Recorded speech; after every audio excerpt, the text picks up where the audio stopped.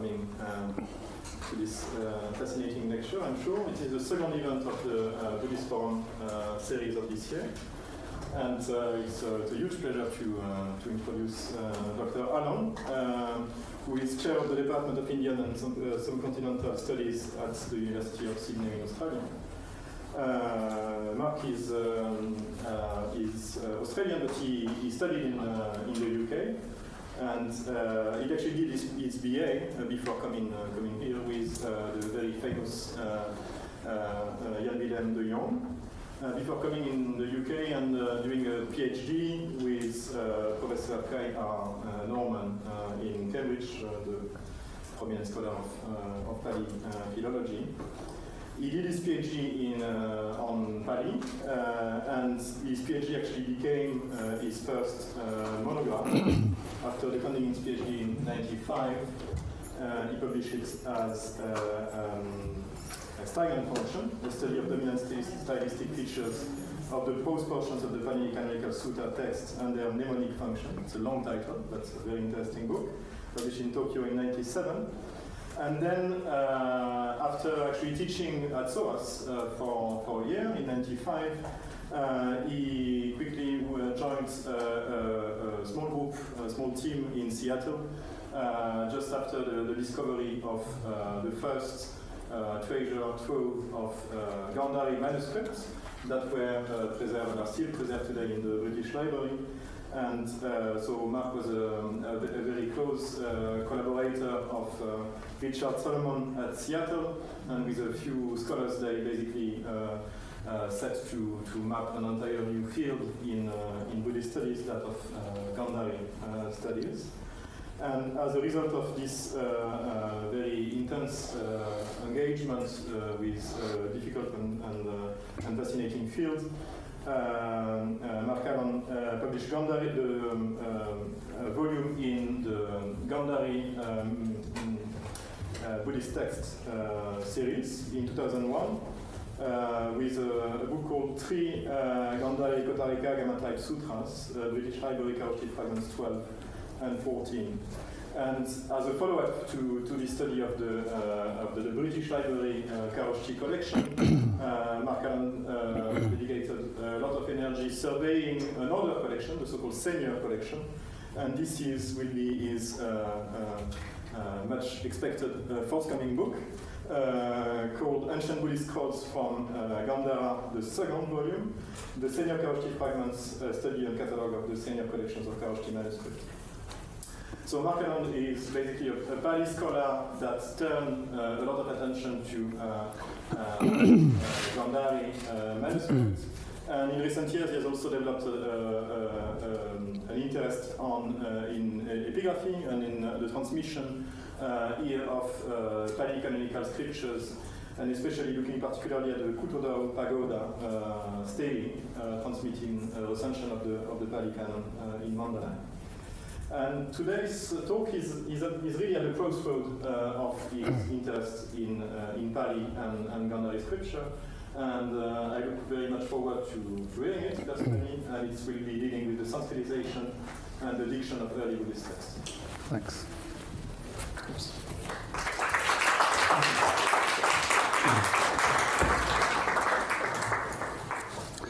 So just a bit more background to um, uh, what Vincent said is that, so for my uh, honours thesis, that's a fourth year thesis in Australia under de Jong, I translated the Sanskrit Sarvastivadin version of the, the Mahaparinirvana Sutra that was transmitted in manuscripts from Central Asia and, and made a study of this. And, you know, I was really very interested. Uh, one reason I went to the ANU was to study Pali, and, you know, I was interested in Pali texts you know, that opened my eyes to the fact that there's multiple versions of these texts. And when you compare them, they're different, similar but different, right?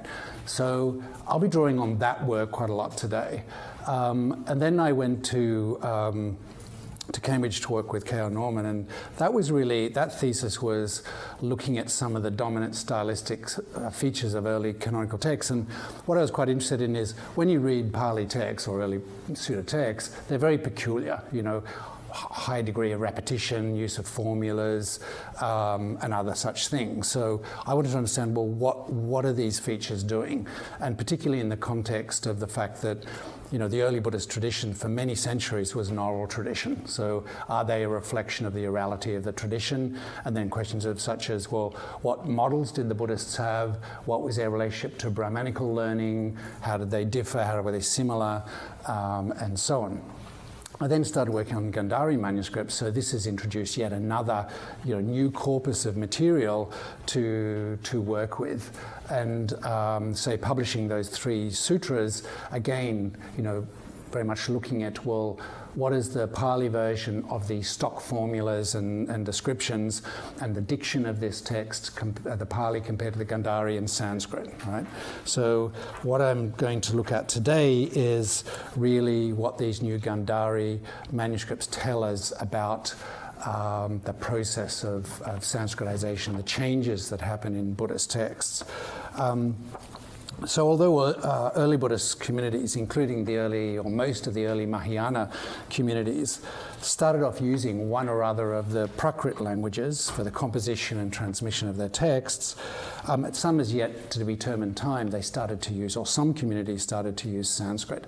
Uncertain uh, Oskar von Hinüber puts it at, you know, at the latest by the Kshatrapa or Kushan period. That's sort of first, third century, some first, second centuries of the Common Era. And some Buddhist communities actually started composing their texts, particularly their Abhidharma treatises and so on, and then converting their canonical texts into Sanskrit. Right? Others continued, like the Theravadas of you know, Sri Lanka, Southeast Asia, continued transmitting them in Prakrit. Now, there are, you know, I won't go into the detail, but there's, you know, several possible reasons for that that have been proposed by scholars. Um, for example, the beginning of the, the Christian era, um, Sanskrit increasingly took on the role of being the language of political and intellectual discourse in India and beyond its borders, um, perhaps under the increasing influence of um, Brahmins in court affairs you know, Johannes Bronkhorst and so on. Um, you know, another possibility is that fewer people could understand the Prakrits, um, and that you know Sanskrit was a clearer medium for that transition, or, and so on. There's counter arguments against that as well. Um, you know, it's also possible that, so in that context, that the use of Sanskrit and Brahmi script, which goes hand in hand. So the, new manuscripts I'm talking about, uh, Gandhari Prakrit, transmitted in always in uh, Kharoshthi script. There's a uh, connection between that and Sanskrit with Brahmi is closely connected. We, in the new collections, we do actually get some uh, Sanskrit texts in Kharoshthi script, um, but it's an imperfect script for the transmission of Sanskrit. Um, so it's possible that um, you know, Sanskrit was regarded to be more um, precise, uh, vehicle for the transmissions of text. But again, if you read Bronkhorst, you know, counter argument would be, well, you know, Buddhists successfully commuted, transmitted their texts for centuries in Prakrit. What was in, you know, wrong with that? So why suddenly change? You know, his argument is, is different. But you know, it's, it could very well be the case that Buddhist authors started using Sanskrit, particularly for their Abhidharma and Shastra texts, and um, the composition of these new works, because that was the, the, you know the vehicle mostly for that sort of discourse with Brahmins and others, and that that then influenced some communities to convert their canonical texts into Prakrit as well.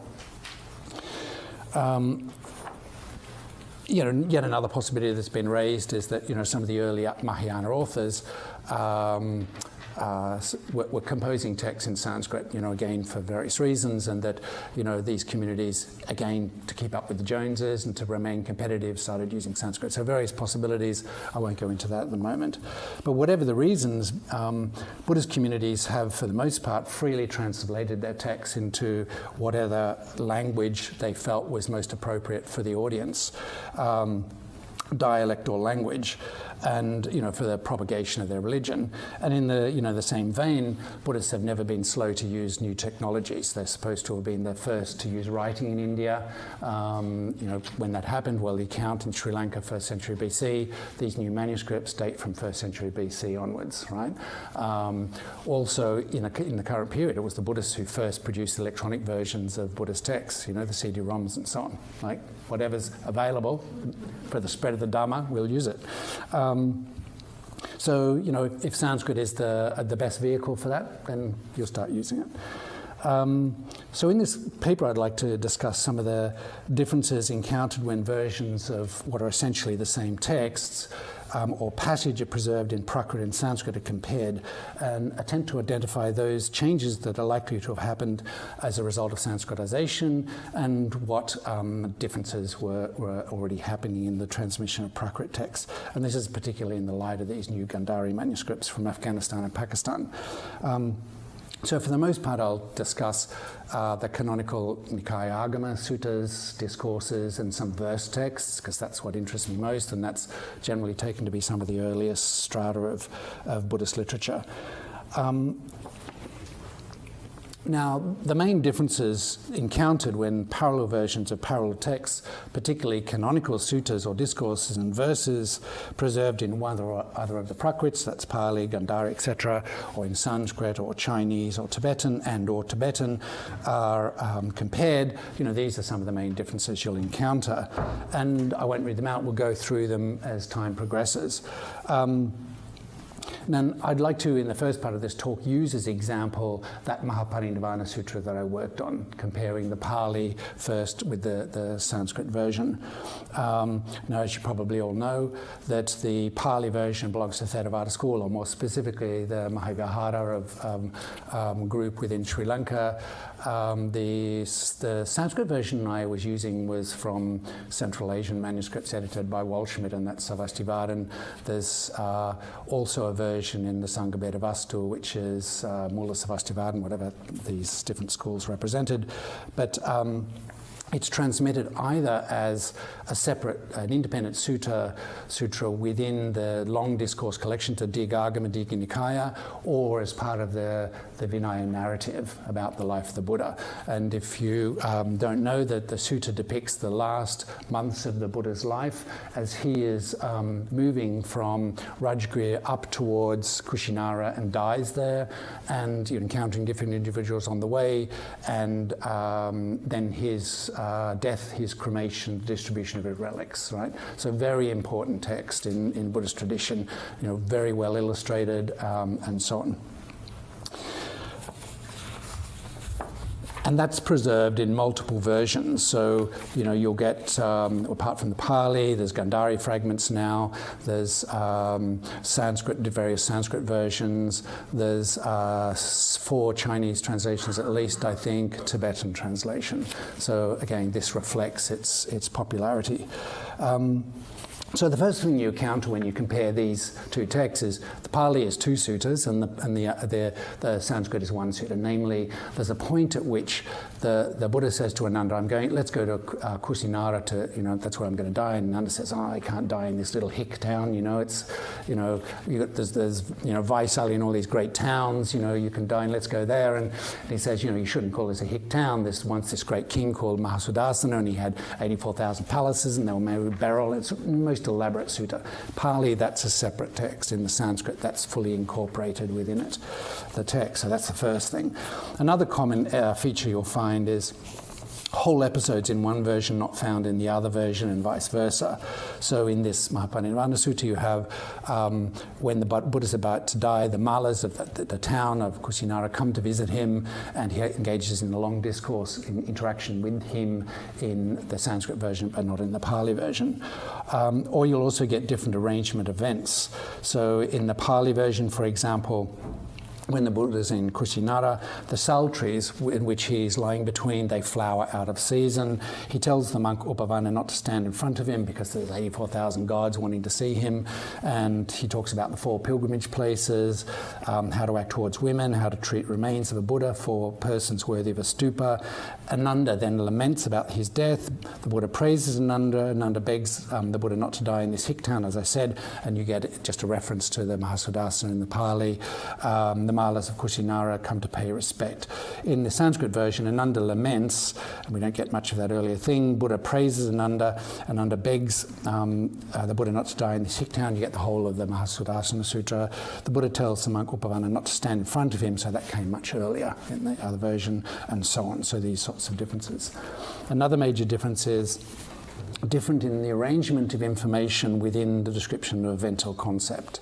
Um, also, the inclusion or omission of information and information about the same event differing. So, if we say look at the last words of the Buddha in these two texts, so um, what I have is P is Pali, Sanskrit, Sanskrit is SKT is Sanskrit, of course. You've got the Pali translation, Sanskrit translation. So the Pali is fairly simple. Then the Bhagavad addressed the monks Monks, I will now address you. It is the nature of formations to disappear. Strive diligently. This was the last speech of the Tathagata, right? The Sanskrit is, but, however, this, this is, it, it is. Uh, this, is, however, is to be done by the Tathagata since he has compassion for later generations. Then the Bhagavat, turning aside his upper robe from his own body, addressed the monks. Monks gaze upon the body of a Tathagata. Monks gaze closely upon the body of a Tathagata. What is the reason for this? It is because the sight of Tathagatas, Arahat, completely enlightened ones, is difficult to gain as a flower on a fig tree. Monks, please be silent. It is the nature of all formations to disappear. This was then the last speech of the Buddha, of the Tathagata. So you can see what's in bold in the Sanskrit was not in the Pali and, and vice versa. So, you know, the first thing is this, this long description of the Buddha exposing his 80 year old body and um, completely missing the Pali. What's that for? Is it because at the time of the redaction of the Sarvastivadin version, um, that you know the Buddha was increasingly you know being exposed to deification, and that this community wanted to emphasize that he's just a human being and this is a you know a man dying or what right but it's quite an important bit of information difference um, and in his speech and his acts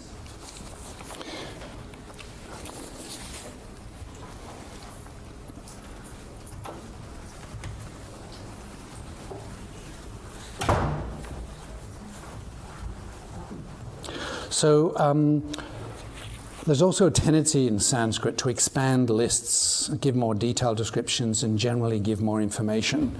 Um, so, for example, an important feature of Buddhist texts is, particularly in the pro Sutta texts, is a tendency to proliferate similar word elements and um, develop lists. So, you know, as we know, Buddhism's like much Indian literature, uh, full of lists. You know, Eightfold Noble Path, Four Noble Truths. You know, and so we go on.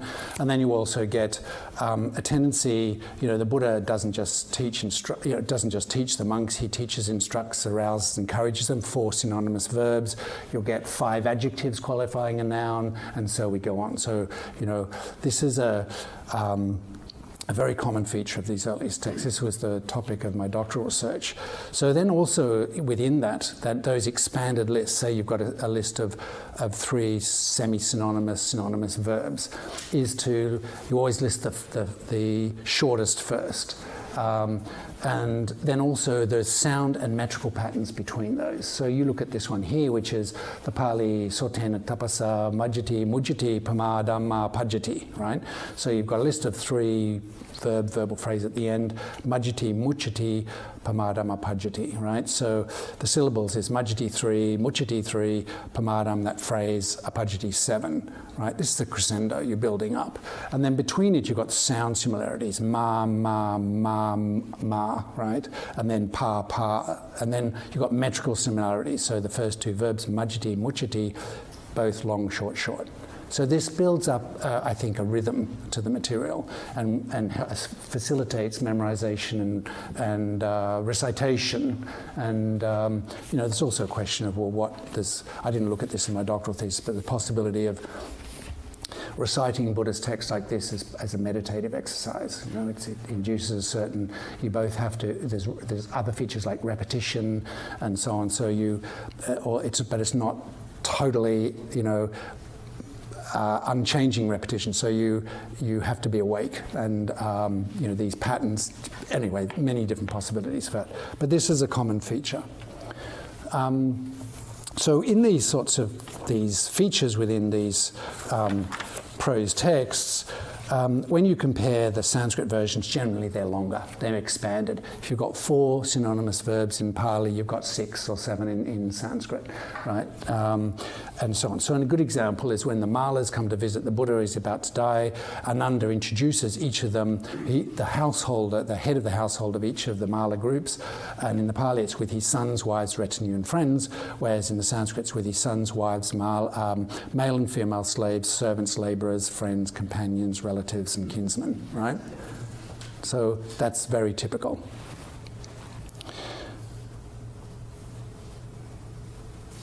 Um,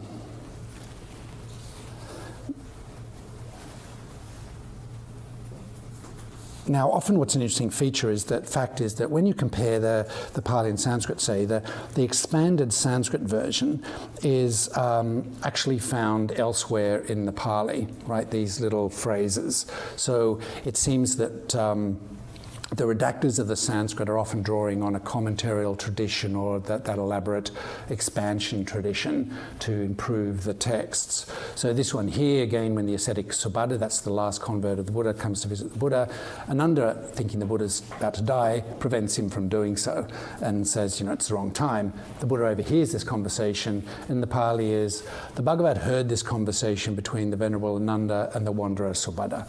Whereas in the Sanskrit, it, it's, it's the same as all of that. However, However, he hears it with the divine ear purified, surpassing the human.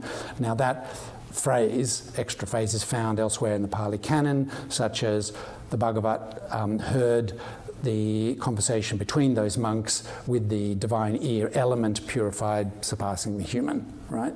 So it's not as if it's completely new wording. Um,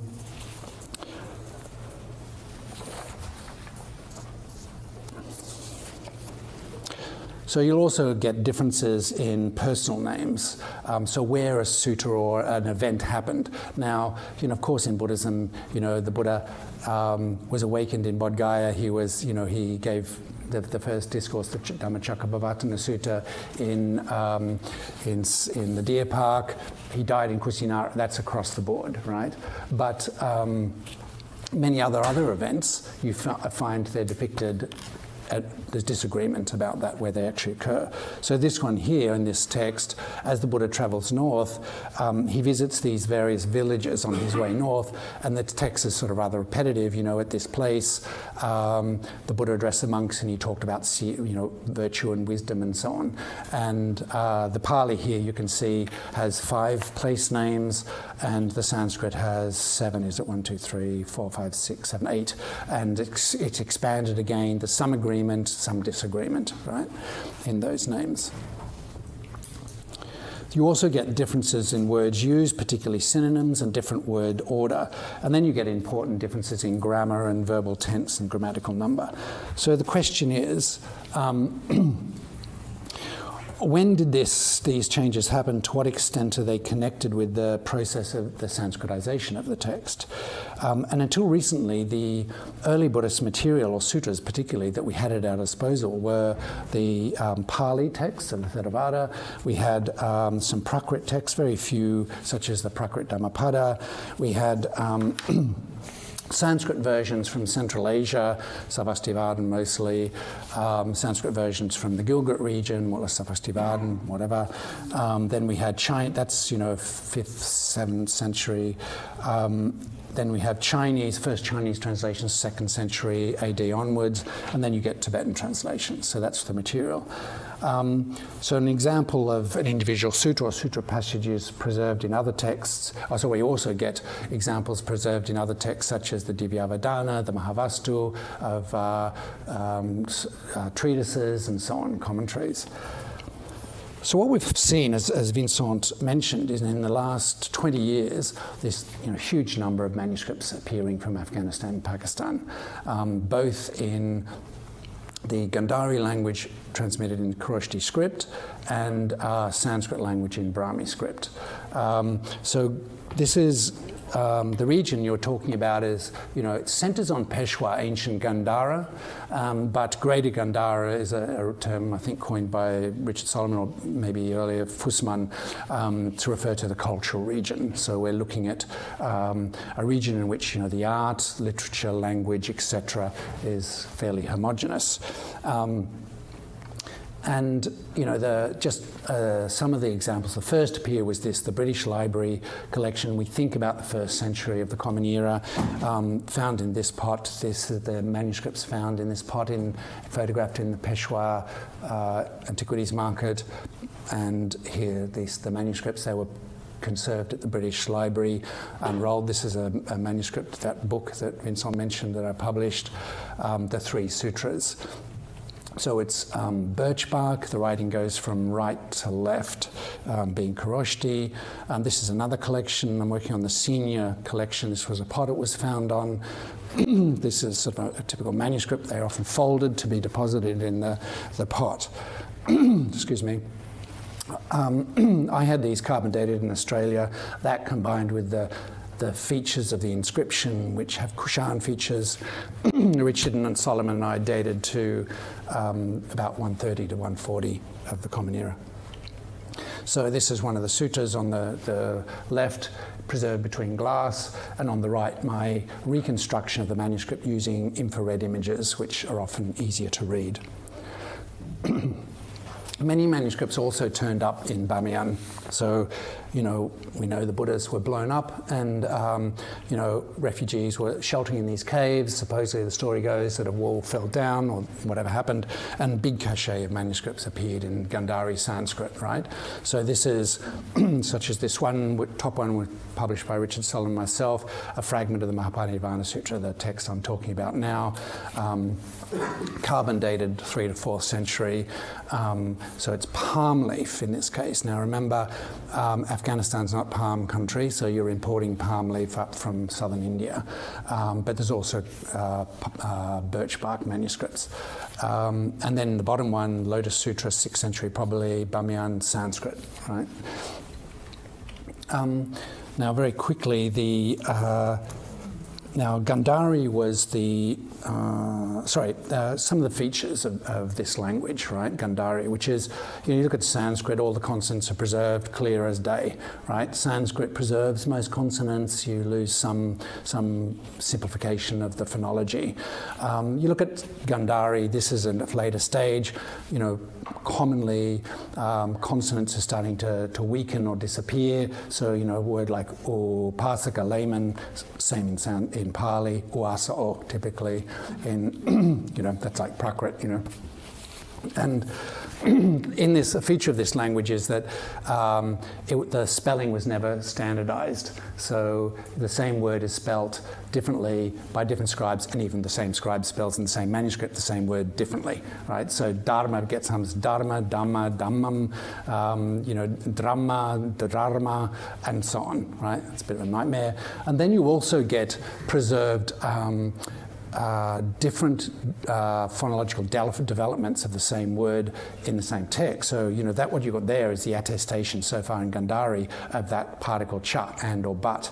You know, so cha, the, the vowel is palatalized, cheer, you know, in this scribe's hand, some scribes, there's no difference between cha and ja, so it's, it just alternates between cha ja, and so you go on, right? So and here, right, you look at that and you think, oh, well, that's that particle here, but actually the parallel in Pali will tell you it's cha, and so, you know, Pali Sanskrit parallel is indispensable. And then collapsing of some set phrases like, you know, uh, idam avocha, idam avocha could turn up as idam. That, that, that verb that um, uh, turns up as avachi, avai, oi, a, a, a, u, right? So there we go. That's and then also you don't mark long vowels. You don't mark geminates. That's double consonants. So what in Gandhari is bala could be Sanskrit bala strength or bala child or what is Kamma in, in Gandhari Kharoshthi script. Um, of course, it's not Gandhari the language because the pronunciation would be different, but the writing of it um, in Kharoshthi script. Um, Kamma could be kama, desire, or karma. karman. And then also there's a collapsing of the, um, of the terminations. So you can't tell the difference between nominative, accusative, and locative, say. You know, I'm fine because I deal with sutta texts and I've got Pali parallels. Someone like, you know, Collett Cox who works on Abhidharma texts, just a nightmare, you know. Is it nominative, accusative, or whatever? So this language was used in Greater Gandhara, you can see in grey, and also on the southern Silk Route in the Shan Shan or Kroraina kingdom, third, second, third century. They were Tokharian people, Iranian speakers, but they're using an Indian language as a, as a um, administrative language. And then up in the northern Silk Route and then also in, in um, Bactria. And this language was used in script as a dominant uh, language. It was the spoken language in Gandhara from about the 3rd century BC. We have the first attestations of that in the inscriptions of Ashoka until about the 3rd or 4th century of the Common Era. So, Richard Salomon, um, in his article, uh, Gandhari Hybrid Sanskrit, New Sources for the Study of the Sanskritization of Buddhist Literature, discussed examples of what appears to be the very earliest stages of Sanskritization found among the new Buddhist manuscripts from Afghanistan and Pakistan, most notably those from Bamiyan, in which Gandhari Prakrit texts are given this thin veneer of Sanskrit spelling, inconsistently applied. Um, but we also then get an overlap with the, the date of manuscript of the first Sanskrit manuscripts, right, as, as you'll see. So this is a good example, Bhadrakalpika Sutra from Bamiyan, carbon in Australia to uh, 210 to 417. Uh, so this is the late phase of, of uh, Gandhari Kharoshthi manuscripts. Um, if you look at this, well, you know, here we got the term, a word like um, Sanskrit Shravakasya, of the disciple. Well, the spelling is Shravagasya. So, first of all, the normal reflex of shra is retroflex s in Gandhari, so you can see the spellings there. Here, sava asa savaga, right? It would be the standard Gandhari. It's Sanskritic spelling. Genitive singular ending sya, that's Sanskritic. However, right, inconsistent, it's prakrit ga for ka, right? So, and then you'll get a spelling like Brahmano, which is standard Sanskrit spelling for this, where the normal Gandhari spelling would be Brahmano, um, Brahmano, and so on. And this scribe, to write HM, which had never been attested in Gandhari before, at least to our knowledge, he either invented it or he the exemplar invented it, right? So you had to start inventing new ligatures to, to transmit this Sanskritized spelling. Um, however, this, this feature is, you know, you start to get features, Sanskritic features in Pali itself, you know, such as the tva ending, the, which in Prakrit is actually double T long A, um, gets restored in, in Pali. Similarly, this cluster tr um, and the spelling Brahmana, same, which is Pali would be Brahmana and so on. Or you look at, say, that um, ablative uh, pronoun uh, Sanskrit tasmat, proper Pali spelling tamha, but it's Sanskrit spelling tasma, and so on. And so it goes on. Um, when you look at a text like this, this is the Ashta Sahasrika Prajna Paramita manuscript from Bamiyan. This is the um, dated by Laura Sanders on paleography, um, second half of the third century of the Common Era. Now, this text is the earliest, generally regarded to be the earliest strata of, of Mahayana literature, and this is the earliest Indian, Indian manuscript of this text. Um, now, if you look at some of the features of it, well, you know, the, what you're looking at here is this is from this manuscript. This is from the standard edition, which based on more standard sans, later Sanskrit manuscripts. So, first of all, you know, Ayam Prajnaparamita, well, Prajnaparamita is feminine, but it's using Ayam. Now, Ayam is in Prakrit is both masculine and feminine, but, you know, it really should have restored Iyam, but it didn't. Similarly, um, you know, it has this, the, the, the prefix ava gets collapses in Prakrit to o, and it, it didn't do that, whereas in the standard Sanskrit it does or you get something like upeti, which should be opaiti, but it, the Prakrit spelling's retained, or you know in Prakrit the the particle api is loses its first syllable, it's p, and it's kept um, the, the standard. It's kept those, whereas the standard Sanskrit one is api, and so on. Um,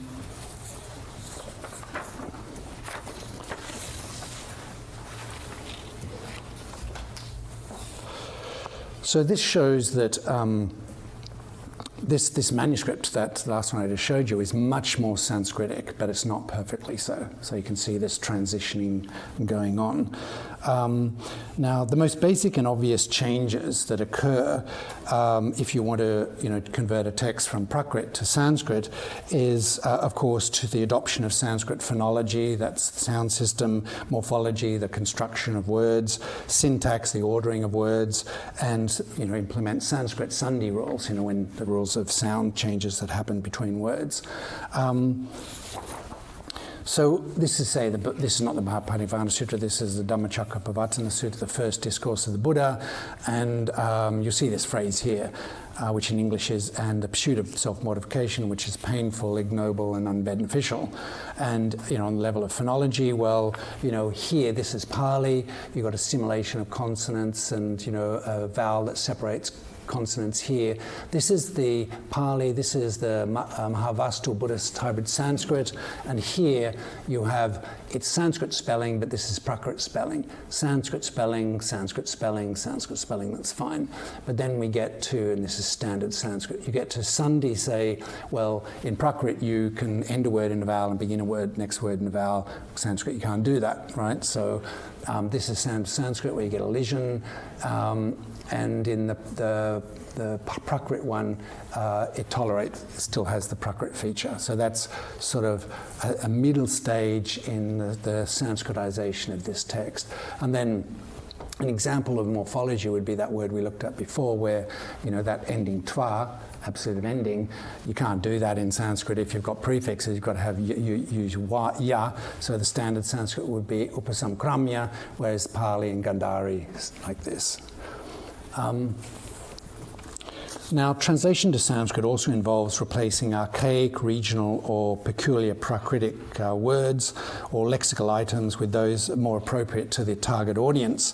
For example, um, this word chigala. Now, chigala is a hole, and um, it occurs in, say, Pali Suttas or in Buddhist texts. There's this simile, you might know it, which is the Buddha says, this at one point there was um, this whole world was covered in one great ocean, and there's a, a yoke which is a piece of wood between two um, oxen with one hole in it, and it's floating on this ocean. And there's a blind turtle that surfaces every hundred years. What's the likelihood of his putting his head through that hole? Well, it's not very much, and and uh, that's the likelihood of you know of a Buddha appearing in the world, which is used he uses to illustrate the fact that I'm here, you're here, you're a human being. Strive right? So the Pali word is chigla. This is a non-Indo-Aryan word, right? Um, borrowed from the local um, Dravidian language, probably. Um, and Sanskrit versions replace that with chidra, another word for hole in the yoke. Well, in this Gandhari version I've worked on, the word is uh, ekatarma or yu o is yuga, and the word Tarma always Tardman with cut suffix. Now, this Tardman word is, it only appears in. Um, in Sanskrit, in the Atharva Veda, the Shrauta Sutra of the Katyayana, uh, Kathaka Grihya Sutra of the Black Yajurveda, and the Shatapatha Brahmana, and then after all the commentaries on those texts use Chidra commentary on it, right, on Tardman, and you don't get it, right? So it looks like those who were, you know, the Buddhist texts moved up into Gandhara from the, you know, the, the, the Buddhist heartland of Magadha and whatever, where the word was either Chigala or Chidra, probably, um, they replaced it with a local word. And that local word is a residue of when the Brahmins were more, you know, centered around Gandhara, right? So, but of course, that sort of changing synonyms is very typical, and it could happen in the, in, in the Prakrits. Um,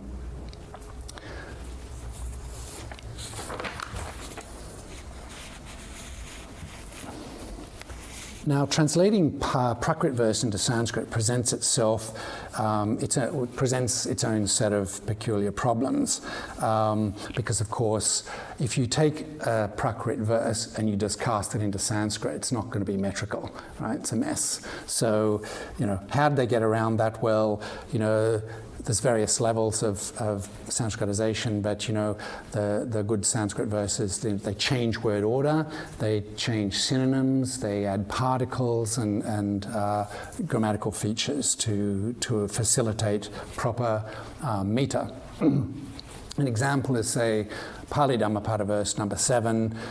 There's a Prakrit version, um, there's a Gandhari Prakrit version, there's a Sanskrit or Udana version. There's actually others as well.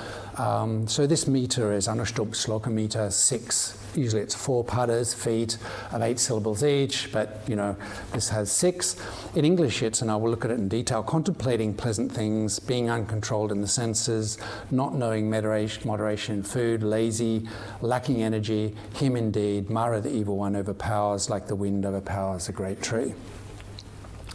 So you look at the first two padas, that is, um, in the Prakrit, they're identical right? That's P is Pali, Prakrit is the Prakrit Dhammapada, G is the Gandhari Dhammapada, Sanskrit is the Udanavagga. So if you cast this word anupasin, you know, from Drish, then there's no such word as anu, anupasin in, in, in Sanskrit.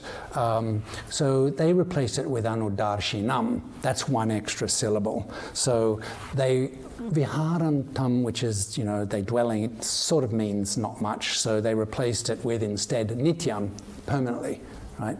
And in this, this next pada you have, if you cast this, um, unrestrained among the senses, then into Sanskrit it doesn't work, right?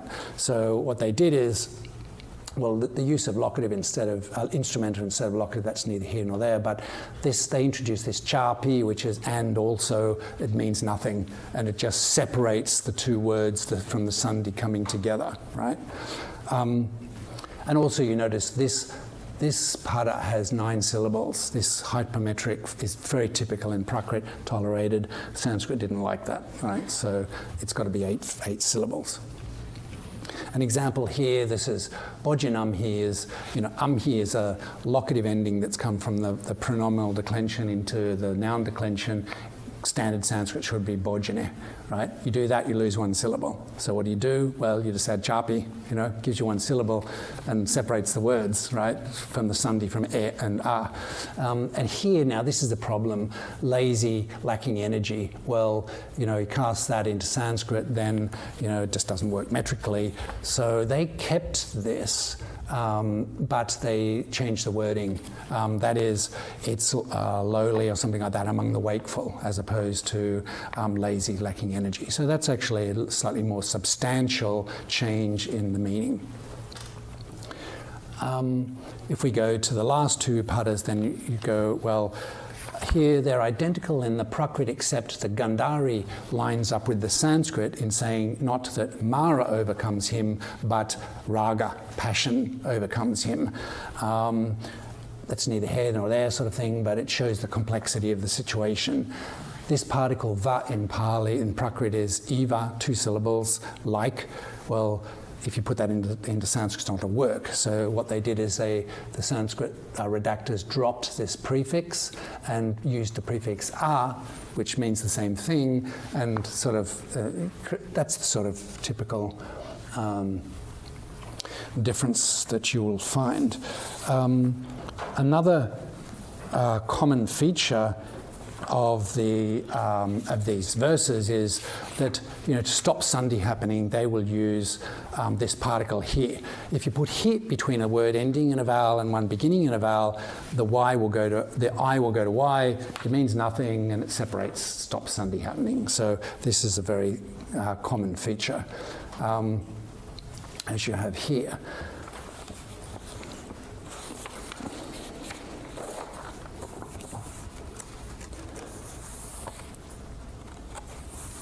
Now, earlier I noted that when you compare, um, no, sorry, uh, so clearly these, particularly this verse material, shows that these changes are happening in the Sanskrit, in with the Sanskritization.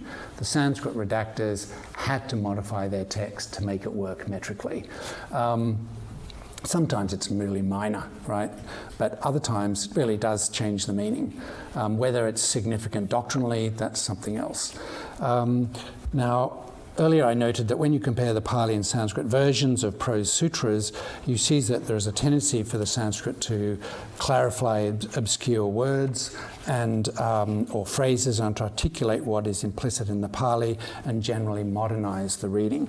Um, so a good to text, a good example is the formula used to depict a monk visiting the Buddha.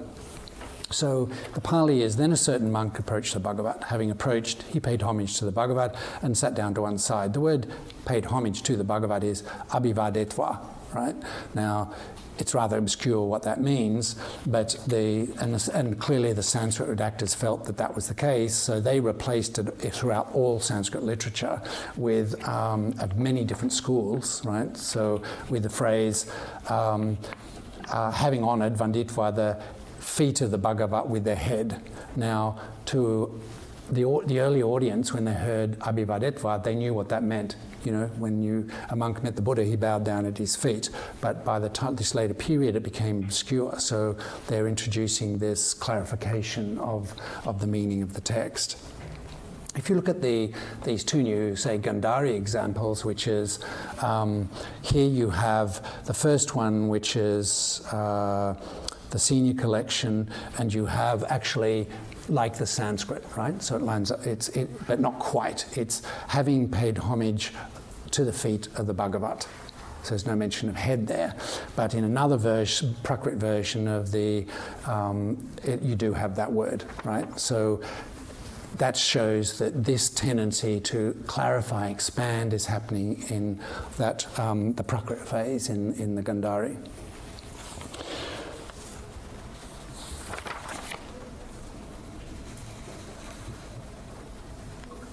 Now, sometimes we find contradictory forces at work in the Sanskrit versions alongside a tendency you know, to proliferate similar word elements, to expand the text and so on. You find a tendency in some cases to actually contract it, right, particularly in certain formulas. So this one here, which is the conversion formula. Now, very typically, you know, Buddhist text, the Buddha always, you know, outperforms his opponent, and the opponent at the end, if he wants to become a layman, um, will say, you know, this is this one, this formula is used. If he become wants to become a monk, another formula will be used. But it's in Pali, it's wonderful, Venerable Gotama. This is wonderful book, Venerable Gotama, so that's clearly by an ascetic speaking, the way he dresses the Buddha. Just as Venerable Gotama, one would set upright what has been overturned, or uncover what has been covered, or show the path to one who is lost, or bring an oil lamp into the darkness so that those with eyes might see forms. Even so has the Venerable Gotama declared the Dhamma in various ways. I go to the Venerable Gotama as a refuge, and to the Dhamma and to the community of monks. May the Venerable Gotama accept me as a layman who has gone to him as a refuge refuge from today onwards until my last breath. Now, you know, Sanskrit literature, when I'm talking about Sanskrit, we're talking about, you know, quite a big body of literature, of very different schools and periods and so on. But throughout all, and some variation, but if you look throughout all of it, that version here is I am successful, Lord, I'm successful. I go to the Bhagavat as a refuge and I go to the Dhamma and the community of monks. May accept me as a layman who, with faith, so that's different, has gone to you as a refuge from today onwards for as long as there is life until my last breath, right? So the first thing that strikes you is that very long list of similes is missing in all Sanskrit versions right? And you wonder why. It's quite, you know, that's contrary to this tendency we've been noting of Sanskrit to expand. Um, now, if you look at some Gandhari versions that are turning up, well, the first is from the British Library collection, the manuscript I edited and you saw before. And here we have the long list of similes, but we have slightly different wording, which is um, the monk Gotama declared, revealed, and proclaimed the Dhamma. It's the same list of verbs. The Dhamma dark and bright right? So different wording. Um, but there's another Gandhari version from a slightly later, we think later manuscript, which has um, all that list of similes has disappeared, but we do, as we do in the, gun, the first Gandhari version, and this, we do have this as long as there's life, and at least in this one, out of faith, right? So this shows the, um, the complexity of the, the situation. Um, the different, you know, version, you know, the Pali similar to, and the Gandhari similar in some respects, but if the Gandhari paralleling the Sanskrit in other respects. Um,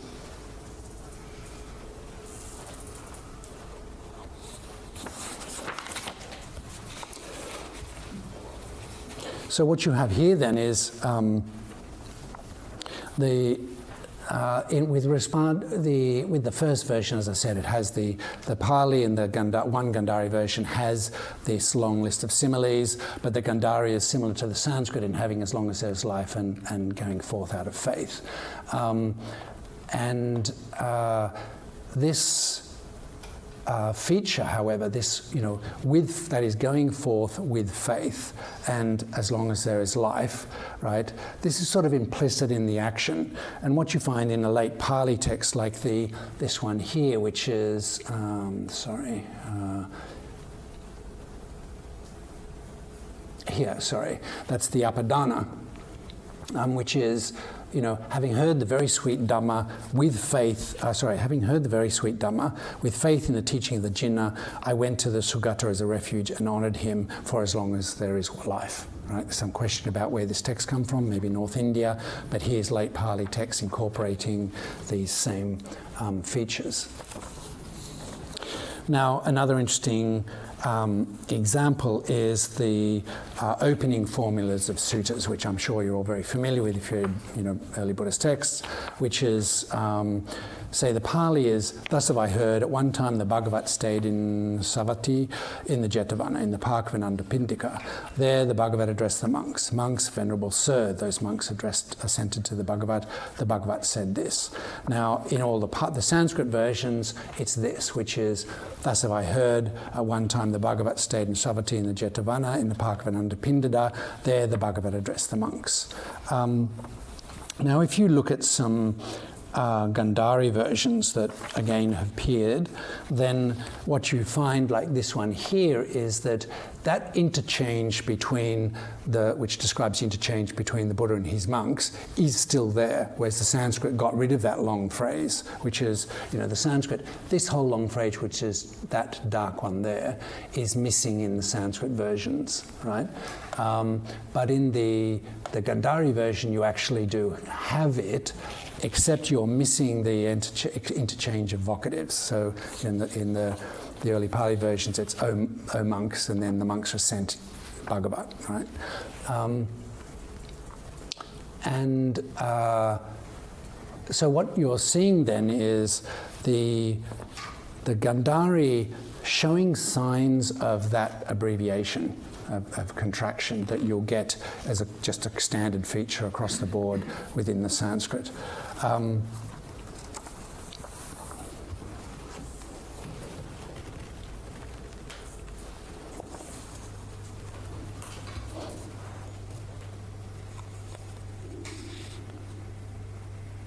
Now, what's quite interesting is that um, in Pali manuscripts, you often find the phrase, there the Bhagavat addressed the monks, monks, Venerable Sir, those monks assented to the Bhagavat. The Bhagavat said this which is what you're missing in the Sanskrit, abbreviated in Pali manuscripts with, there the Bhagavat addressed the monks, right, which is the very wording of the Sanskrit, um, which is, suggests that the shorter Sanskrit version of this standard formula may have resulted from the tendency to abbreviate this formula in the openings in manuscripts. And perhaps the conversion formula, which is, of course, the other end of a sutta, is another example of that. What you do is these, the standard opening, it's so formulaic, and, and conclusion of sutras starts to get abbreviated by scribes, and that then it just becomes standardized across the, the board within certain classes of text without memory of the more complex uh, earlier version. And I think what we're looking at is maybe in the Gandhari version where the first um, movement in that direction is happening, so that's, you know, first century BC to, you know, onwards, that um, that uh, so the abbreviation is starting happening there, and this is the beginning of Buddhist manuscript culture. Right? So it's, it's possible that that type of feature, which seems contrary to the other trend within the Sanskrit pro- to process towards Sanskritization of expansion of wording, is a result of the use of manuscripts, of manuscript culture. Now, another feature, um, common feature of Pali Sutta texts is the repetitive use of vocatives of address in dialogues and monologues, and the frequent and repetitive employment of certain indeclinables such as ko, which is Sanskrit khalu, means nothing, could mean indeed, something like that, but you can't possibly translate it.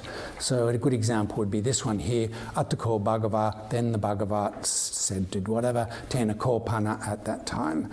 Um, so you look here where you have um, a translation of that would be using Atako monks, this occurred to the Vipassana Bodhisattva. With ko, the existence of what does existence come into be, come to be, by what is existence conditioned. Then ko, monks, through the careful attention, penetration through wisdom occurred to the Pasi Bodhisattva. When ko, there are, is clinging, existence comes to be, existence has clinging as its condition. And you also get so these quotative particles um, commonly in Pali texts. So what I think these these features I think functioned as that's the vocatives and particles like ko as markers in the text in an oral context, right? So first of all, the vocatives are telling you who is speaking, an, an oral uh, uh, an audience who is speaking, right? Um, if if the text is Bhagava, you know that or Bhante, then you know that it's a monk speaking. If it's uh, Bhikkhave, you know it's the Buddha speaking. Um, and ko, I think, always occurs as the second element or, or thereabouts of a new sentence, right? So ko mar- marks the beginning of a new bit of information. And, and I think, again, that's, as I said, this is very much tied up with the orality of this material. Now, given that these features would have functioned as an oral in an oral context, as I, was argue, as I would argue, it's therefore interesting that the Sanskrit texts, or at least many of them, tend to omit vocatives and particles such as khalu and the quotative particle iti, suggesting that they stem from a period when these elements were no longer felt to be appropriate or necessary. Now, it turns out that this is a particular, is also a feature of these Gandhari manuscripts. So you look at this phrase here from the Sramanyaphala Sutta, um, Pali, here at the core, and the Pali and Sanskrit version missing it. Um, and same with vocatives. This one here, um, the vocative O monks, missing in the Gandhari and the Sanskrit. And um, the tendency to omit the quotative particle at the end here, also a very common feature of the Gandhari. So, in conclusion, then, several of the differences between Prakrit and Sanskrit versions of Buddhist texts outlined so far cannot be attributed to the Sanskritization process, since some differences, or the same differences, are encountered when different Prakrit versions are compared, that is, say, the Pali and the Gandhari. This includes the omission or inclusion of episodes, differences in the ordering of events, different arrangement of information within the description of an event or concept, the use of different words to relay the same idea, differences in grammar. But other cl- others clearly occurred within that process as a result of Sanskritization, in particular those with reference to verse um, of the features that appear most characteristic of Sanskrit versions, that is, the tendency to expand lists, to give more detailed descriptions, and generally give more information, the tendency to clarify or gloss obscure words or phrases and articulate what is implicit in the text, say the Pali version, a tendency for individual words to be expanded through the addition of verbal prefixes, yet also the tendency to shorten some stock passages or formulas, um, and to make certain passages more concise and reduce repetition. And the tendency to omit particles, evocatives, such as khalu and uh, iti, the new Gandhari versions of sutras show that these tendencies were already underway when the texts were being transmitted in Prakrit, that is, Gandhari Prakrit, at least by the first century of the Common Era, if not the first century BC, um, from when the earliest of these manuscripts dates, and that's about two centuries prior to what we see when we start to see um, Buddhist manuscripts in the Banbamiyan region, at least, starting to take being converted to, to Sanskrit as we witnessed by those Gandhari um, fragments. this is at least in terms of, uh, so in other words, uh, sorry, in terms of the development of the diction, the Gandhari texts tend to appear to be later than the Pali, but earlier than the Sanskrit. They sit in, they're not as complex as quite in the details and some of the features of Sanskrit, but they're certainly well on the way to that. Um, However, although these developments began in the period of the transmission of these texts in Prakrit, I'm inclined to think that the act of translating texts into Sanskrit, which in the Northwest appeared to have been started around the first century or the third century, second century of the Common Era, if not earlier, um, this conversion to Sanskrit would have given Buddhist communities yet another opportunity to improve the texts. That is, you know, to clarify what is obscure, expand the wording, embellishing the descriptions, and so on right? So no problem here when we're assessing this material is that we don't have the full um, the witnesses to this transmission, right? We have Pali, who knows what date, date is, probably pre-Ashokan for the early sutras, Gandhari beginning first century BC, Sanskrit, who knows quite where that fits. We don't have all of the phases from all regions witnessing, so it's, it's uh, we're guessing in some ways, but we get a rough idea. Now, the um, differences encountered between parallel versions of early Buddhist sutra texts and verses, some of which I've discussed here, raise many important issues concerning the composition and transmission of early, particularly Agama sutras, Buddhist texts, and factors that um, that enabled and uh, contributed to such changes occurring in these texts, whether by design or through the mechanics of transmission. And these are texts, after all, that were preserving, transmitting the word of the teacher, the Buddha, and of his disciples. Um, so, you know, some of these important questions would be well, what is the attitude? What, what do these, these issues tell us about the attitudes Buddhist communities must have had towards the words and forms of the text they were transmitting? What allowed them to, tr- to change wording, right?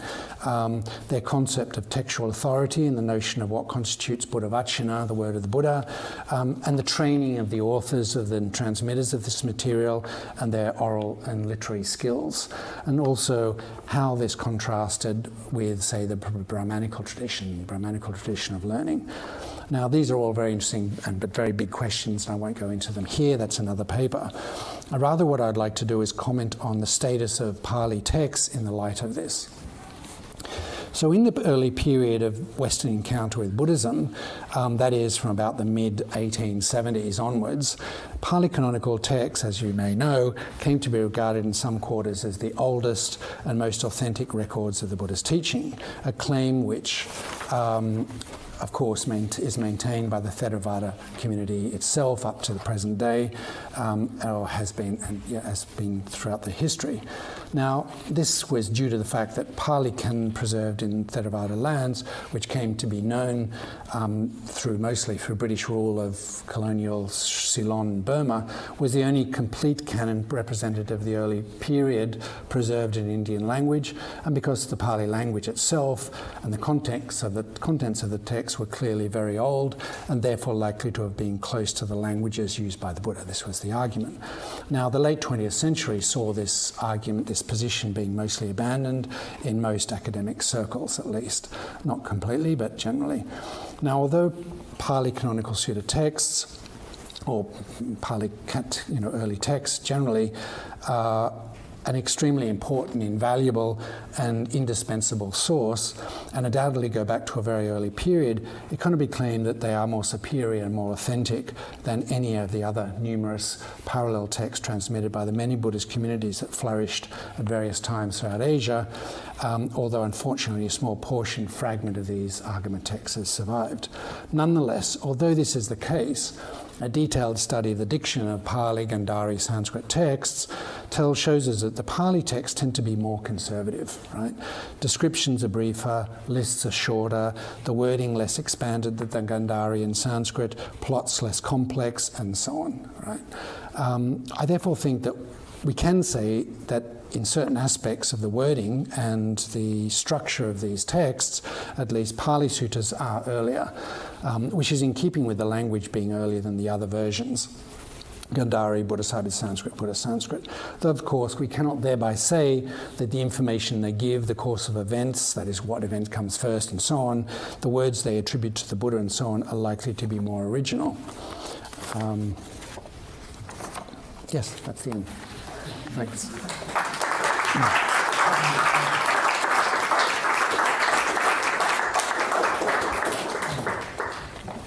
Uh, thank you, Mark, for this uh, fascinating uh, lecture. Uh, bringing, bringing in a lot of materials and also raising some, some very important questions that are uh, at the core of quite a bit of debates in, uh, in recent decades. And sometimes, yes, we have too much the tendency to somehow be busy killing the fathers and burying the old, the old yes. stories without reflecting yep. too much on the, on the implication that new narratives and, and the complication that these new narratives entail. Um, I'm sure there will be the, the, room is quite full, so I'm sure there will be quite a bit of uh, quite a bit of, uh, of, discussions and questions. If I might just uh, yeah, take the, the, privilege of, of, the, of the, chair, uh, I I. Well, I, I, belong to, uh, to uh, let's say, a parampara that was very, but very early contested the primacy of Pali. Levy was very vocal about, about the, the kind of uh, problematic focus of the certain German uh, English uh, onto Pali. And in many respects, he was wrong. in many respects, he was also right. For example, scholars like him were, were uh, pioneers in, in, uh, in mining a terrain that of Chinese translations, for yes. example, that now are showing that in many instances yes. uh, we can, through Chinese, not access the diction level, uh, but have still an idea of the kind of complex formation of, of given of given sutras and the, the work, for example, of uh, our friend Analayo yes. Uh, yeah. is showing a lot in that respect. Uh, one, one of uh, the, the, the, other issues um, uh, that are still, so it's still, um, of course, we should not, it's a, it's a mistake to, to, in my opinion, to underrepresent the importance of, of Pali. Uh, what maybe we should cultivate our historical imagination too is that to be aware of the amount of what is missing. And in particular, in the presentation of uh, the situation of kind of textual transmission as there is Pali, there is Prakrit, especially Gandhari, and there is Sanskrit.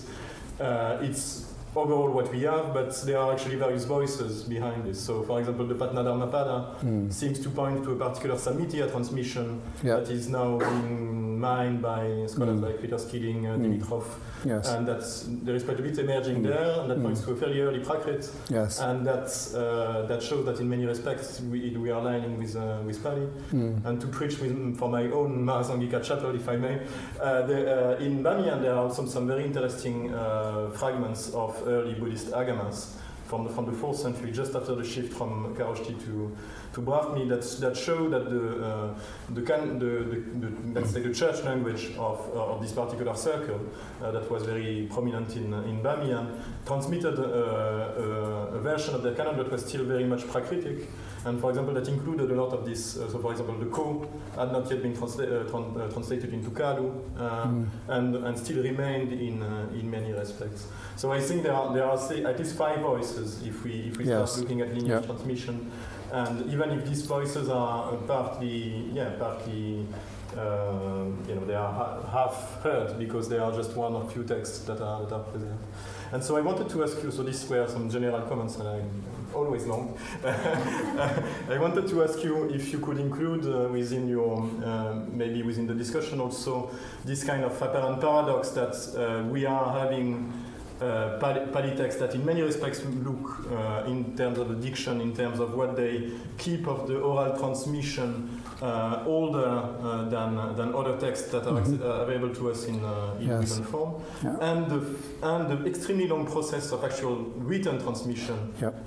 of Pali texts. And since we are, you are mm. working on early canons, what do you make of this and how this might have influenced, for example, if not the diction, at least the orthography uh, and, uh, and, and, and, the, sorry, and the phonology of, of Pali as in the process of its transmission. Uh, of textual transmission and the conversion from early Brahmi scripts into more complex Brahmi scripts. Uh, like so, so what did the the impact of the use of script and writing have on Pali? On, on Pali itself, yes. yes. Um, um, Look, you know, I'd probably refer you to K.R. Norman's, um, my teacher's mm-hmm. chapter on writing and the impact, yeah. right? So, um, this, I mean, even in, in in Pali, you get many instances of, um, you know, in the, the, say the Sanskritization, where they got it wrong, like mm. the the the, um, the, the suffix tra, you know, the agent noun suffix, and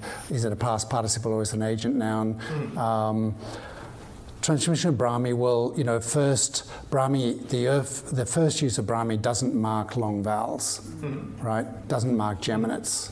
So all scripts in India were created to transmit Prakrits.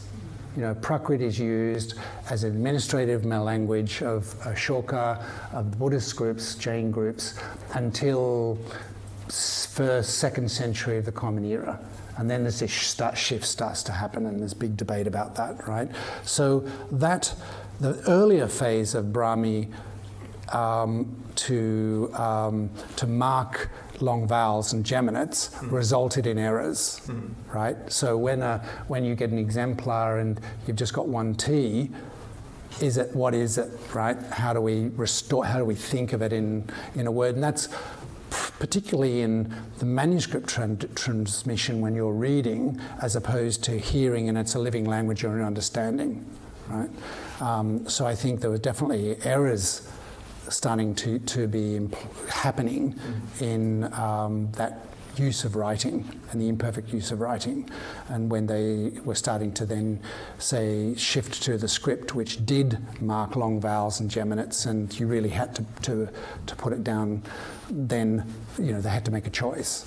Mm. Um, and to push that further, well, the Sanskrit authors, when they were faced with a, a, Prakrit text, and you often get in Buddhist Pali text this deliberate ambiguity in punning, you know, you couldn't do that. You've got to choose one or the other. And they chose one, and they got it right or wrong, you know. Well, actually, it, it, there's no right or wrong because there was a punning on both, right?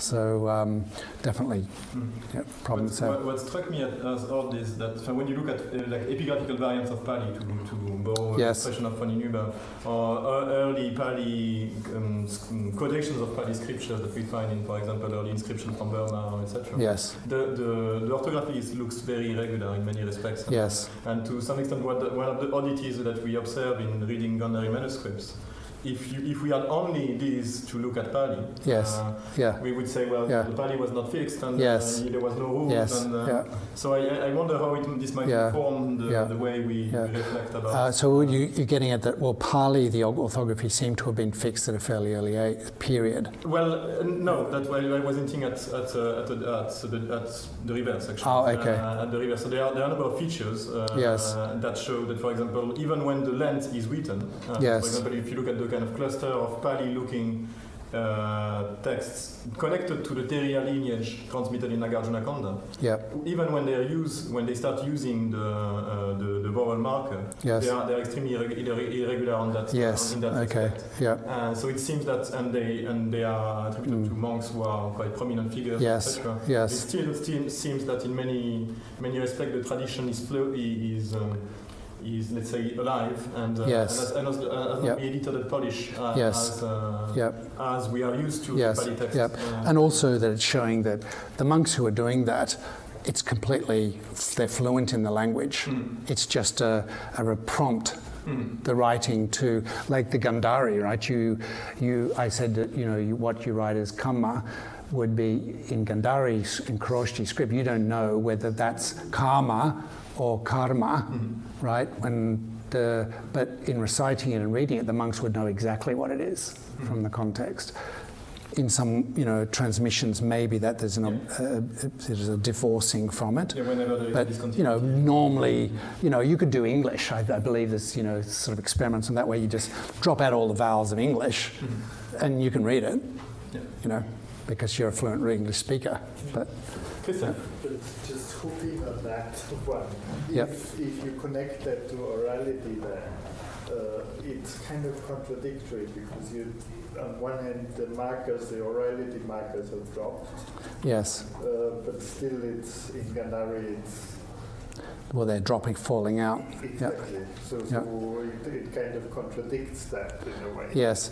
Look, you know, yeah, I don't, I don't quite know how to answer that. So, is it the case that um, is it in the recitation of the texts? Just you know, a more general question would be how does orality fit into these different categories? Yes. Is, for example, the Pali version uh, also or the Pali retaining thing.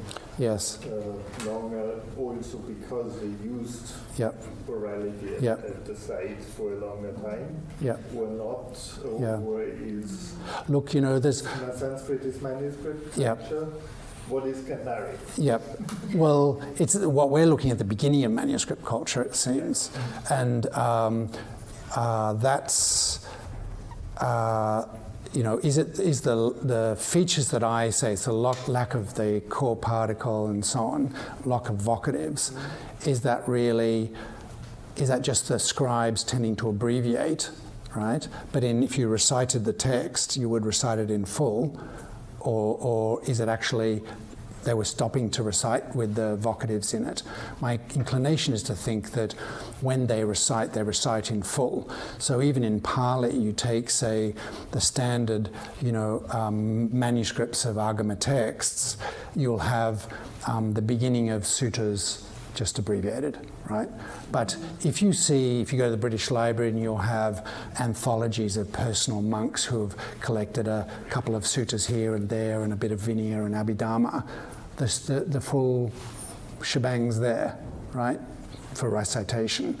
And, um, you know, often in, say, Pali manuscripts, you'll get the first sutta of a collection, of a subset, you know, a vagga or something, will have the full introductory nidana, and all the rest won't. Right, and it'll have the full conclusion, and then all the rest won't. But the last one will have the full. You know, so this is a manuscript that scribal thing because manuscripts are expensive, you know, time consuming to write.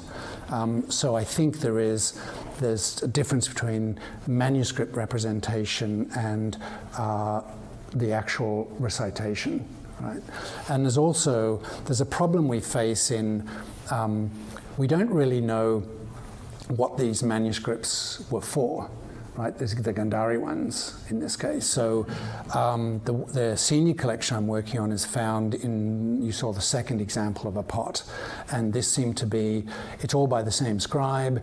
It's um, seemed to have been produced by the donor who's mentioned on the inscription on the pot as a, as a, um, a pious act right, for his mother and father. And so he's commissioned a collection of sutras, it's an anthology, to be written and buried right? So is it the case that a sutta that is written out by a scribe for that purpose is the full version, contracted version, or, you know, does it really, for him, so what is you know. And what we're also finding is, say, among these, Richard Salomon wrote an article on this, which is um, we're, we're, many, we're, finding many manuscripts which only have the beginning of a sutta and not the rest. And first we thought, oh, well, the, the, the remaining, because you, a Gandhari manuscript may be this long, and then you, you write on the next manuscript and they're separate scrolls. And, you know, you just didn't, the others haven't survived. But the pattern seemed to be there that what looks like is scribes were writing the beginning of text as representative of the whole. So they're ritual, ritual manuscripts. Right? Um, so there's you know these complex things going on between written versions and and uh, and uh, recitation versions. And even within recitations, you've got a, a version of, say, the, Mahasan, uh, the Satipatthana Sutta. Majjhima Nikaya version is so long, Digha Nikaya version is longer because they've added another bit, right? So on one occasion, the monks would have recited a longer version for the audience, and this is, you know, um, I think typical in many oral contexts where you vary the nature of the text you're reciting um, according to the audience and expectations in the occasion. Yeah. Uh, Mark, I just want to ask about Sanskritization. Yes.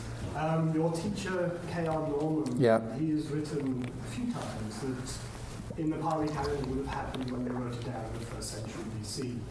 It seems a bit early to me. So yep because you have Pra- you have the standard epigraphical Prakrit, you have epigraphical hybrid Sanskrit, and then full Sanskrit Yes. epigraphy. Yep. So that seems to be a better model. I'm wondering if it is found in the Gandhari manuscripts, as sort of gradual Sanskritization. Um, yes, it's it's gradual and uh, piecemeal, and also you know we're just looking from one region. So those um, texts that are showing Sanskritization are from one place, Bamiyan. Um, but we are actually finding some Kharoshthi manuscripts um, that are writing Sanskrit, and they don't mark long vowels, they don't mark geminates. It's an imperfect medium for transmitting Sanskrit, but you can tell from all features that it's Sanskrit that they're getting, that they're writing. Um, There's-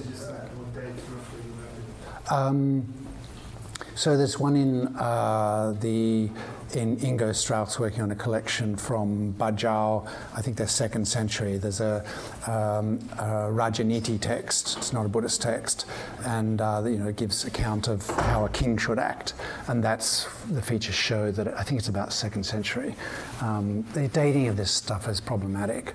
Um, you know, you date it on paleography, shape of letters we do some carbon dating. Carbon dates, as you saw, the dates are big, right? Often two centuries, and then you've got to try and you know combine these various features. In the case of the senior collection, we were lucky enough that it had an inscription on the this pot which had, according to Richard Salomon, Kushan features, um, and it, it referred to the year 12 and we, he argued that it's the date of the year of Kanishka. Well, as you know, the year of Kanishka is a real big problem, but adopting Harry Falk's year of the accession at 2 127, that leaves you with 130 to 140. There's lots of ifs, right? But, um, you know, what these, these manuscripts are witnessing is, you know, the very, what we think of the earliest, the British, music, li- British library material, some of the earliest, and some of the carbon dates on some of the other collections are returning BC, first century BC dates, um, which don't show Sanskrit features. But those that return late uh, carbon dates, second century, third century, are showing Sanskrit features, right?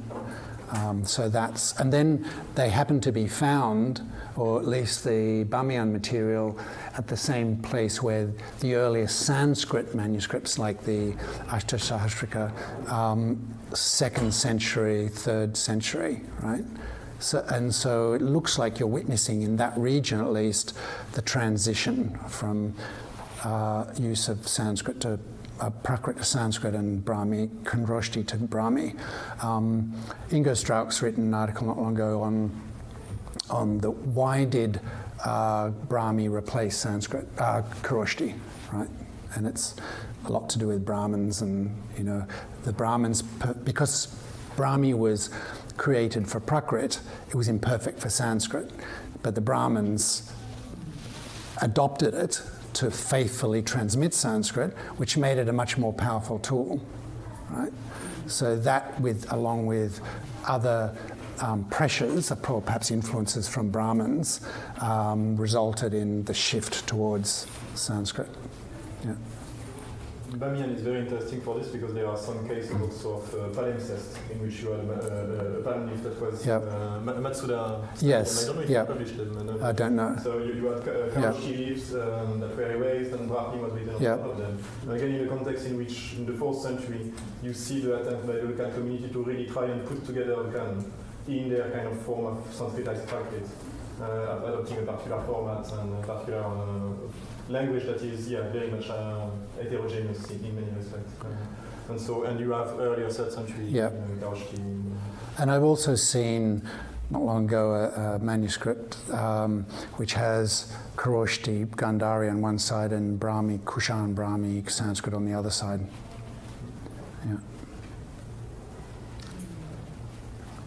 Any other question? We have still some time. I. Yeah. Five minutes? Yeah. Um, just well, well, fill the, the gap, but um, you know, something I didn't look at much is the way in you know the way to which in Sanskrit versions you often get more complex narratives, right? So I showed you one example from the um, Samannaphala Sutra, which is this is um, the context is King Ajatasattu. Now you know the story of him. He had um, backed Devadatta to usurp the Buddha from the as leader, and uh, he had killed his father Bimbisara, who was a follower of the Buddha. Right. So the, the Sutta depicts him sitting in the court on a full moon night, and he says, "Who, you know, what should I do on this full moon night, or which minister or whatever should I, what, which monk or Brahmin should I visit?" And in the Pali version, it's the simplest six ministers say you should visit this, you know, the, the six rival teachers of the Buddha's day, right? And then finally, you know, the Buddha, um, uh, Jatasattu notices Jivaka, his physician, is sitting there silently. He says, Why are you silent? He says, Well, the Buddha's sitting, you know, not far away, let's go visit him. So the king goes off to visit him. On the way, he, you know, because Jivaka said there's 1,250 monks, he can't hear them, so he thinks Jivaka's leading to him to his ruin, and he's got fear and dread. He meets the Buddha, and then he asks him, What's the results? What's the benefits of living the ascetic life? And the Buddha gives this long discourse, which, you know, shows that his monks have a better time, all these things. Well, I'm working on a Gandhari manuscript, this in the senior collection, which just preserves the introductory narrative. And even though it's in Gandhari Prakrit and dating to 130 to 140, it's the most complex narrative structure. And it matches the narrative structure in the Dharmaguptaka Chinese translation. And this is what I, a further argument for why this is a Dharmaguptaka collection. That is, the narrative goes, he's sitting among his courtiers and he says, What should I do in this night? And, you know, the, the women of the court say, Let's go up to the roof and, you know, have fun. And uh, the, the, the prince says, Well, let's, let's go off and bash up our neighbours with the army. And the, the, the, the head of the army says, Well, let's parade around the city wall with the army. And then finally, the, you get the standard, the, the ministers and you know describe each of the heretical teachers and then Jivaka. But in this case, each of the ministers is named and the prince, they're all named, right? And then um, on the way, the description of the, his fear and dread is more complex with the, the elephants and the, the, the women. And then he, at the Sutta stops when he meets the Buddha and he says, Well, which is the Buddha? And he meets the Buddha and he says, Well, he sees all the monks calm, and the Buddha calm. He says, I wish my son was as calm as this. Well, it turns out Udai Bhadra kills him later. So, you know, this is so that's an interesting feature because here's a very early manuscript, right, which has the most complex narrative structure.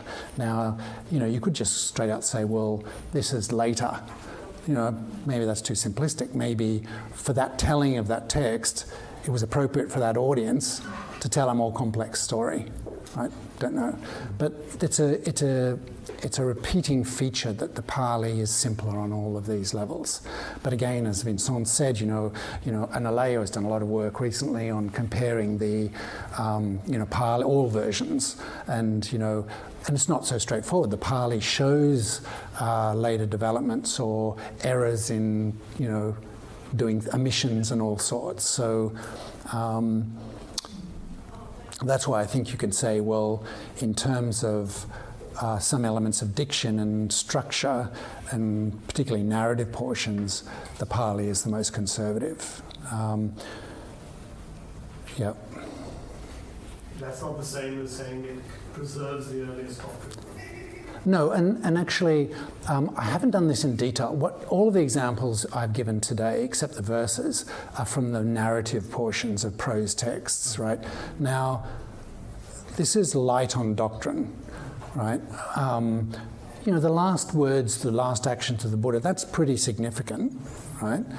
But um, in terms of, say, the description of the four Brahma Viharas or the four exertions, pradhan, pahanas in Pali, you know, pahanas in Gandhari, padanas in, in um, Sanskrit, well, um, they're very similar right? So it's possible, and I, I, need to do much more work on that. Of, is it the case that the narrative uh, prose portions were more open to change than the, the core doctrines, right?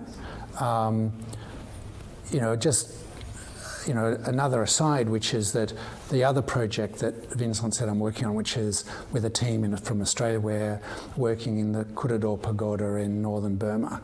And this was in second last king of Burma, Mindon, 1860-68, had the whole of the Pali Canon carved on 729 marble slabs. That's the fifth council, and it's pre-Western influence. Um, and you know, I showed before in one of those verses, you know, Prakrit and Pali quite tolerates hypermetric verses and, and so on. The Burmese didn't like that. So they, like the Sanskritists, they reduced it to eight.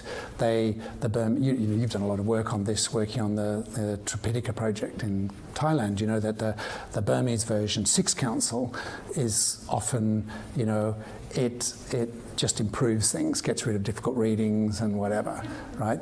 That's a really interesting feature, I think, of, um, of their, you know, the most conservative tradition being willing to you know, it's not changing the word, it's just making it better. Of course, this is a better reading, right? There's errors that were in the text, I'm going to improve them.